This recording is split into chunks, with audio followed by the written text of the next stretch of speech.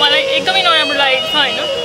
म last time Nepal आउँदाखेरि म मेरो दिदीको बिहामा दिदीको टोली उठाउनुको लागि आएको थिएँ। यसपालि नेपाल आउँदाखेरि चाहिँ म मेरो दाइको अचानक शङ्कास्पद मृत्युको कारणले आउनु पर्यो। अझै पनि मेरो आँखाको आँसुहरू सुकिसकेको छैन र सडकमा आउनु पर्यो मैले मेरो दाइको न्याय माग्नको लागि। त्यसमा म एकदमै लज्जित छु त्यसको लागि भनौँ न। सम्बन्धित निकायले चाहिँ ज्यान मरेको जस्तो कुरा छ। एउटा आफ्नो बाटो पर गर्नु एउटा आफ्नो जिम्मेवारीहरू चाहिँ उहाँहरूले राम्रोसँग वहन गर्नुहोस् भन्न चाहन्छु होइन? सडकमा चाहिँ उत्रिन बाध्य नबनाउनु होला यहाँहरू। आफ्नो पढाइ पुरा गर्नको लागि चाहिँ म ब्याक टु युएस हुँदैछु। आज साढे आठ बजेको मेरो फ्लाइट छ होइन?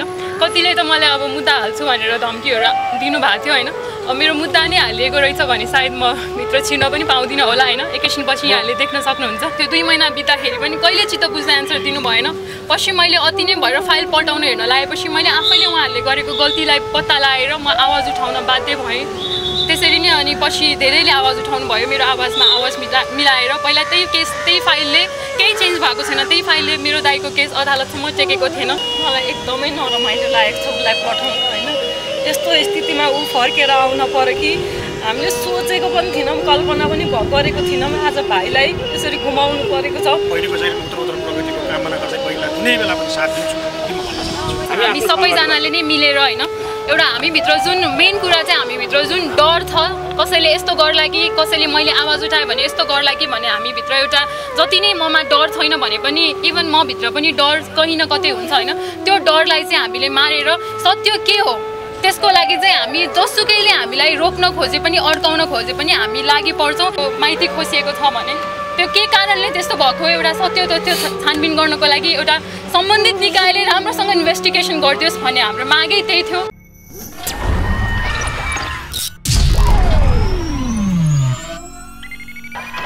सूचना मनोरञ्जन र ताजा समाचारको लागि बुद्ध क्रिएसन नेपाललाई सब्सक्राइब गर्न नभुल्नुहोला। साथै छेउमा रहेको बेल आइकनलाई क्लिक गर्न नभुल्नुहोला। विशेष गरी सदस्यजी अहिले त्रिभुवन अन्तर्राष्ट्रिय विमानस्थलमा हुनुहुन्छ। नेपाल फर्किनु भएको थियो नेपालको बिचमा थुप्रै घटनाहरू भए उथलपुथल भए भनौँ न आफ्नो दैनिक गुमाउनु पऱ्यो अहिले अमेरिका जाँदै हुनुहुन्छ। यो क्षणलाई यो मुभमेन्टलाई कसरी सम्झिनुहुन्छ? कसरी मिस गर्दै हुनुहुन्छ? मलाई एकदमै नराम्रो लागेको छ होइन? म लास्ट टाइम नेपाल आउँदाखेरि म मेरो दिदीको बिहामा दिदीको टोली उठाउनुको लागि आएको थिएँ। यसपालि नेपाल आउँदाखेरि चाहिँ म मेरो दाइको अचानक शङ्कास्पद मृत्युको कारणले आउनु पर्यो। अझै पनि मेरो आँखाको आँसुहरू सुकिसकेको छैन। र सडकमा आउनु पर्यो मैले मेरो दाइको न्याय माग्नको लागि। त्यसमा म एकदमै लज्जित छु त्यसको लागि भनौँ न। सम्बन्धित निकायले यस्तो घटनाहरूलाई राम्रोसँग हेरिदियोस्। भोलि यस्तो घटनाहरू आफ्नो गाउँ घरमा भयो भने होइन। मैले आवाज उठाउन सकेँ। र एउटा कानुनी बाटोबाट यो घटना चाहिँ अगाडि बढिरहेको छ अहिले यसको निष्कर्ष निस्किनको लागि भनौँ होइन? आवाज उठाउन नसक्नेहरूको कैयौँको यस्तो केसहरू पेन्डिङमा भएको हुनसक्छ होइन? सम्बन्धित निकायले चाहिँ ज्यान मरेको जस्तो कुरा छ एउटा आफ्नो बाटो पर गर्नु एउटा आफ्नो दायित्व आफ्नो जिम्मेवारीहरू चाहिँ उहाँहरूले राम्रोसँग वहन गर्नुहोस् भन्न चाहन्छु होइन? सडकमा चाहिँ उत्रिन बाध्य नबनाउनु होला यहाँहरूले होइन? सम्बन्धित निकायले हेर्दै हुनुहुन्छ भने र म अहिले चाहिँ आफ्नो पढाइ पुरा गर्नको लागि चाहिँ म ब्याक टु युएस हुँदैछु। आज साढे आठ बजेको मेरो फ्लाइट छ होइन? कतिले त मलाई अब मुद्दा हाल्छु भनेर धम्कीहरू दिनुभएको थियो होइन? अब मेरो मुद्दा नै हालिएको रहेछ भने सायद म भित्र छिर्न पनि पाउँदिनँ होला होइन? एकैछिनपछि यहाँले देख्न सक्नुहुन्छ। म मैले कुरा जोड्न चाहे सर सदस्यजी कतिको कन्ट्रोल हुनुहुन्छ कतिको सामर्थ्य छ पैतालामा टेकिने कतिको ऊ छ। विदेश। गइरहनु भएको छ। ती घरमा आमा बुवा लगायत ती त्यत्रो फ्यामिली छ न्याय पाउनु भएको छैन। कतिको साहस आइरहेछ? अहिले एकदमै साहस आएको छ। अहिले न्यायको लागि मैले आवाज उठाउनु पर्ने मेरो बाटोबाट गर्नुपर्ने एउटा बहिनीको रेस्पोन्सिबिलिटी मैले राम्रोसँगले हन्ड्रेड पर्सेन्ट दिएको छु। मेरो दाइले कतैबाट हेरिरहेको छ भने पनि सायद उसको हातमा यतिखेर हाँसिरहेको छ होइन? अब कानुनी बाटोबाट अगाडि बढ्ने भएको छ। मलाई सम्पूर्ण लयरहरूले अब तपाईँ जानुहोस् आफ्नो पढाइ पुरा गरेर आउनुहोस् भनेर नि मलाई पठाउनु भएको हो। त्यही हिसाबले उहाँहरूको उहाँहरूलाई विश्वास गरेर चाहिँ म आज जाँदैछु यहाँबाट होइन? कानुनी बाटोबाट अगाडि बढ्ने भएको छ जसमा चाहिँ मैले इन्टरफेयर गर्न मिल्दैन। कानुनले गर्छ भोलि के फैसला गर्ने हो होइन? अहिले चाहिँ त्यति नै भइरहेछ। जसरी साथ सपोर्ट पाउनु भएको थियो एक हिसाबले मिडियाकर्मीसँगै दर्शकबिन सम्पूर्णले हजुरलाई एउटा भनौँ न हिम्मतवाली नारी हिम्मतवाली चेली भनेर पनि टाइटल दिनुभएको थियो। जुन हिसाबले हजुरले एउटा दबिएको आवाज जुन हिसाबले बुलन्द पार्नु भएको थियो ती पब्लिकलाई के भन्नुहुन्छ? सबैलाई मेरो एकदम धेरै होइन? जति पनि मैले थ्याङ्क यू भन्छु त्यो पनि एकदमै कम हुनेछ। र तपाईँहरूलाई पनि अन्याय परेको छ भने चाहिँ सहेर नबस्नुहोस् तपाईँले सहेर बस्नुभयो भने तपाईँलाई दबाउने काम गरिन्छ त्यहाँनिर नै। आज नभए भोलि मर्नै नै हो। सत्यको लागि आवाज उठाएर मरौँ मर्नु नै छ भने पनि अन्याय सहेर चाहिँ नबसौँ जतिले पनि साथ र सपोर्ट दिनुभएको छ जति मिडियाहरूले पनि साथ र सपोर्ट दिनुभएको छ सम्पूर्ण नेपाली जनता देश विदेश नेपालमा हुने सबैले मेरो आवाजलाई सुनेर मेरो आवाजमा एउटा सत्यता छ भन्ने थाहा पाएर चाहिँ साथ दिनुभएको छ। यहाँहरू सम्पूर्णलाई चाहिँ एकदम प्रणाम गर्न चाहन्छु होइन। भोलिको दिनमा पनि यहाँहरूको साथ सहयोग पाउँछु भन्ने आशा गरेको छु। कसैलाई अन्याय पर्यो र मेरो मद्दतको आवश्यक पर्यो कसैलाई भने पनि म त्यसको लागि रेडी हुन्छु। केही महिनाको लागि म अमेरिका जाँदैछु म फर्केर आउनेछु। आफूले सिकेको शिक्षालाई आफ्नो देशमा हाम्रो देशमा चाहिँ मैले दिनुपर्ने ज्ञान नलेजहरू म भोलिको दिनमा दिनेछु। यति नै हो अहिलेको लागि गरी अमेरिका चाहिँ के केही कुरा प्रश्न पारिसक्नु भएको छ तैपनि यसलाई अझै प्रश्न पार्न चाहे। के उद्देश्यले किन केका लागि जाँदैन म विमान चालकको ट्रेनिङ गरिरहेको थिएँ मैले। मेरो सिङ्गल इन्जिनको पाटो सकिएर म मल्टी इन्जिन गरिरहेको छु अहिले होइन? त्यही कम्प्लिट गर्नको लागि चाहिँ म ब्याक टु युएस हुँदैछु। म अहिले जाने थिइनँ होला तर मैले आफ्नो तर्फबाट गर्नुपर्ने काम कारबाहीहरू सकिएको हुनाले होइन? लयरहरूले चाहिँ तपाईँ अब जाँदा हुन्छ भन्नुभयो त्यही भएर चाहिँ म जान्छु बरु भरसक चाँडै फर्केर आउँछु जति सक्दो चाँडो आफ्नो पढाइ सकेर म सायद यो केस चलिरहँदा नै म फर्केर आइपुग्छु होला त्यसमा। सामाजिक सञ्जाल लगायत मिडियाहरूमा तपाईँको अभिव्यक्ति सुन्ने गरेको थियौँ हामीले काठमाडौँमा हेरेर निहालेर। तपाईँलाई विदेश जानबाट रोक लगाउँछु भनेर विभिन्न कुराहरूमा धम्की दिइरहेका आवाजहरू पनि आइरहेका थिए। कतिको सत्यता हो? सत्य हो।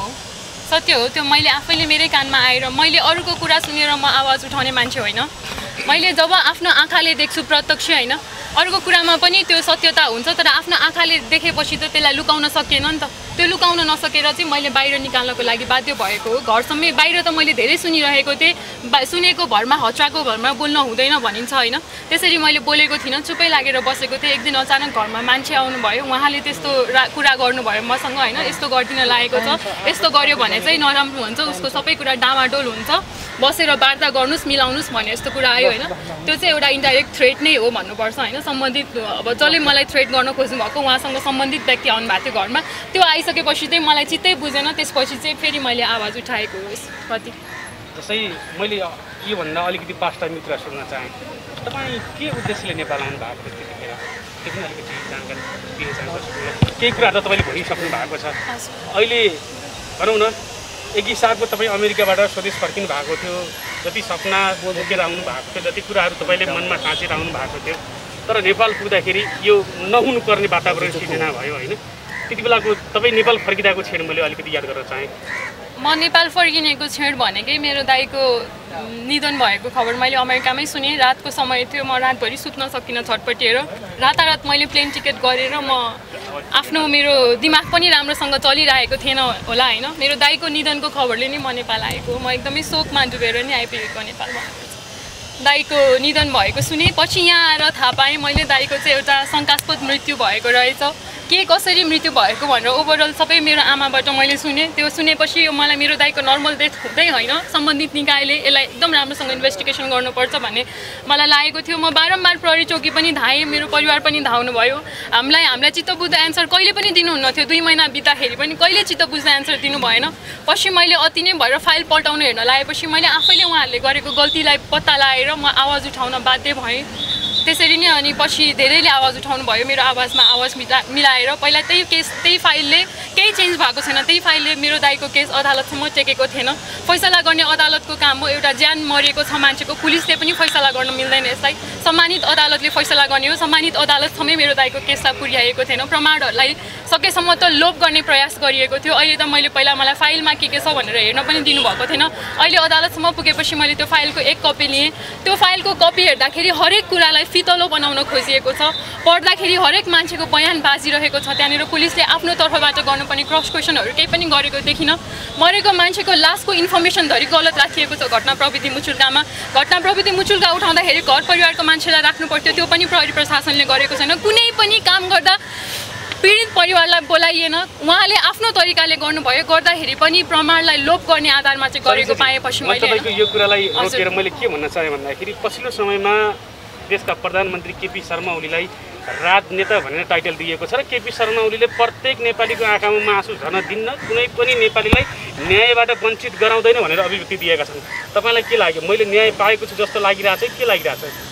मैले अहिलेसम्म न्याय पाइसकेको छुइनँ। न्याय पाउनको लागि सम्मानित अदालतसम्म चाहिँ पाइला टेकेको छ मेरो दाइको यस्तो अभिव्यक्ति दिने नेतालाई उहाँले हो भन्नुभयो त्यसको लागि ठिक छ राम्रो छ उहाँले भन्नुभएको कुरा होइन। सकेसम्म त उहाँले त्यो गर्न चाहनुभएको कुरा पुरा होस्। मलाई पनि हामी जनतालाई पनि यसरी रुन पर्ने आवश्यक छैन दुःखमा नपारियोस् होइन। तर अहिले उहाँले भन्दै हुनुहुन्छ भोलिको दिनमा सायद त्यो कुरा पुरा पनि हुन सक्ला होइन। तर आजको दिनमा चाहिँ हरेक सर्वसाधारणको आँखामा चाहिँ आँसु छ। घर घरमा गएर उहाँले पुस्न सक्नुहुन्छ भने त्यो छुट्टै पाटो हो। तर आजको दिनसम्म चाहिँ हरेक सर्वसाधारण गरिब दुःखी जो पीडामा छन् उनीहरूको आँखामा आँसु अझै पनि ढकमकिरहेका छन् अहिले चाहिँ पुसिएको चाहिँ छैन। त्यो उहाँहरूले भन्नुहुन्छ भोलिको दिनमा गर्नुहुन्छ भने that's a very good news for us होइन? आजको दिनसम्म चाहिँ कसैको आँसु पुसिएको छ जस्तो चाहिँ मलाई लाग्दैन। कत्रो कत्रो काण्डहरू देख्छौँ हामीले। गल्ती देखिरहेको छौँ यो गल्ती भइरहेको छ भने हामी सर्वसाधारणलाई थाहा छ तर त्यो गल्तीलाई न्यूनीकरण गरिँदैन। त्यो गलत गर्ने मान्छेलाई सजाय दिइँदैन यहाँनिर होइन?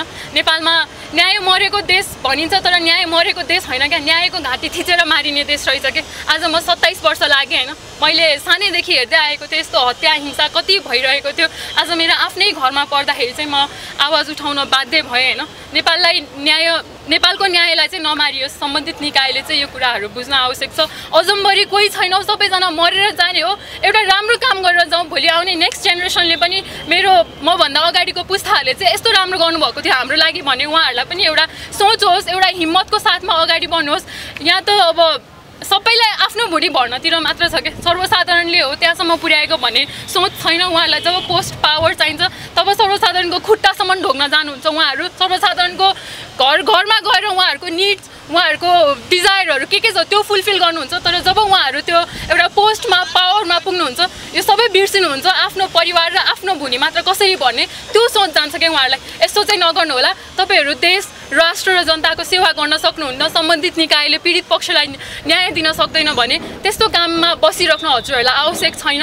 नेपालमा धेरै युवाहरू हुनुहुन्छ जो दक्ष हुनुहुन्छ।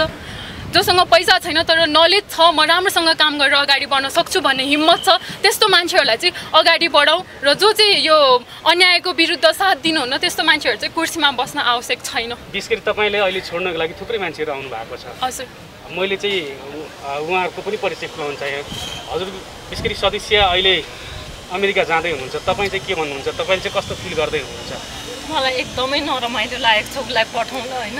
यस्तो स्थितिमा ऊ फर्केर आउन पर्यो कि हामीले सोचेको पनि थिएनौँ कल्पना पनि गरेको थिएनौँ। आज भाइलाई यसरी गुमाउनु परेको छ म उसको दिदी हो। यति दुःख लागेको छ उसलाई पठाउने मन त थिएन तर बाध्यता र व्यवस्थाले हामीलाई बाँधेर उसलाई पठाउन बाध्य भएका छौँ आज हामी। उसको ऊ कोर्स सकेपछि ऊ आउँछिन् फर्केर र आफ्नो जे अहिले त्यो गरेकी छिन् उसले सबै पुरा गर्छिन् यहाँ आएर र सबैलाई जो जसले हामीलाई सपोर्ट गर्नुभएको छ साथ दिनुभएको छ उहाँहरूलाई पनि भोलि केही पऱ्यो भने यसले जहिले पनि आवाज उठाउने छे। सबैको लागि एकदम सक्ष भएर उसले काम गर्ने छे। हामी हामी त भइहाल्यौँ। हामी भन्दा पनि अरूहरूको लागि आज हामीलाई जतिले पनि सपोर्ट र साथ दिनुभएको छ माया गर्नुभएको छ उहाँहरूको लागि एकदम ऊ निडर भएर लड्ने छे। र यसमै अब बहिनीलाई? बहिनीलाई हिम्मत दिलाउनुको लागि चाहिँ के भन्नुहुन्छ? बहिनीको साहस बढाउनको लागि बहिनीको अझै सामर्थ्य बढाउनको लागि। मेरी बहिनी यति आँटिली रहेछ होइन। मैले सोचेको पनि थिइनँ मेरी बहिनीमा यति धेरै आँट छ भनेर। यसले गर्दा होइन सारा नेपाली चेलीहरूको लागि आँट र एउटा हिम्मतको पाटो बनेकी छ यो आज।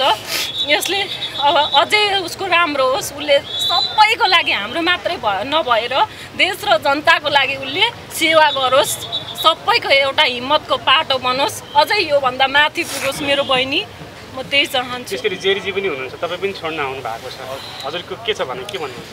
अब यसमा बहिनीको जुन सास जुन बहिनीको जुन एउटा हिम्मतलाई चाहिँ हामी सम्पूर्ण नेपाली जनताले चाहिँ सलाम गरेको छौँ। देश विदेशबाट चाहिँ हामीले साथ समर्थन दिएको छौँ। र आफ्नो दाईको हत्या भइसकेपछि आफ्नो दाईको हत्यारालाई चाहिँ पत्ता लगाउनको निम्ति चाहिँ जब एउटा बहिनी अनुसन्धानको निम्ति पुलिस प्रशासन अदालतसम्म चाहिँ पुग्दाखेरि चाहिँ अझै त्यही पुलिस प्रशासनले चाहिँ त्यो हत्यालाई लुकाउने किसिमको कार्यहरू भइसकेपछि त्यो बहिनीलाई महसुस भयो। जहाँबाट चाहिँ हामीले न्याय पाउनुपर्छ त्यही न्याय बेचिसकेको छ भनिसकेपछि उसले आवाज उठाउनको निम्ति एउटा फेसबुक लाइभको मार्फतबाट प्रत्यक्ष त्यो सम्पूर्णमा जानकारी गराउनु भयो। जानकारी गराइसकेपछि त्यहाँका मेयर साहबले समेत त्यसमा कुनै पनि साथ समर्थन दिएको कुराहरू छैन। र अहिले अहिले हामीले सुन्नमा आएको छ अरे हामीले कर तिरेर भत्ता दिएर सत्ता दिएर भोट दिएर एउटा सरकारी सर्भेन्ट बनाएर राखेको एउटा मेयरले धम्काइरहेका कुराहरू आएका छन्। युएसए जान दिँदैनौँ पढाइमा रोक गरिदिन्छौँ। मेयरको काम त्यो होइन पुलिस प्रशासनको काम त्यो होइन त्यसको निम्ति तपाईँलाई हामीले तलब र भत्ता दिएको होइन। तपाईँलाई न्याय दिनको निम्ति तपाईँले आफ्नो क्षेत्रमा विकास गर्नको निम्ति त्यहाँ सुरक्षा गर्नको निम्ति तपाईँको के छ काम? तपाईँले त्यो काम गर्नु जरुरी छ। तपाईँले कसैलाई धम्काउने? तपाईँले के भन्नुभएको छ? हाम्रो उर्लाबारीका मेयरले के भन्नुभएको छ? बिस बिस एक्काइस करोड मैले खर्च गरेर चाहिँ राजनीतिकमा आउनु भएको छ। भन्न खोज्नु भएको तपाईँले बिस पच्चिस करोड रुपियाँ खर्च गरेर मेयरको कुर्सी किन्नु भएको हो। होइन नि? तपाईँले गुन्डा परिचालन गरेर तपाईँले यो केसमा साथ समर्थन र त्यो हत्यारालाई पत्ता लगाउन छोडेर तपाईँले धर धम्कीको कुराहरू गर्नुभएको छ। त्यहाँको पुलिस प्रशासनले के गरेर बसिरहेको छ? नेपाल सरकारले के गरेर बसिरहेको छ? एउटा आफ्नो दाईको हत्या भएको छ। कसैको छोराको हत्या भएको छ? कसैको भाइको हत्या भएको छ। अरे यार उसलाई यो के उसको माग के छ एउटा बहिनीको? अरे मेरो दाईको हत्यारालाई पक्राइ त देऊ।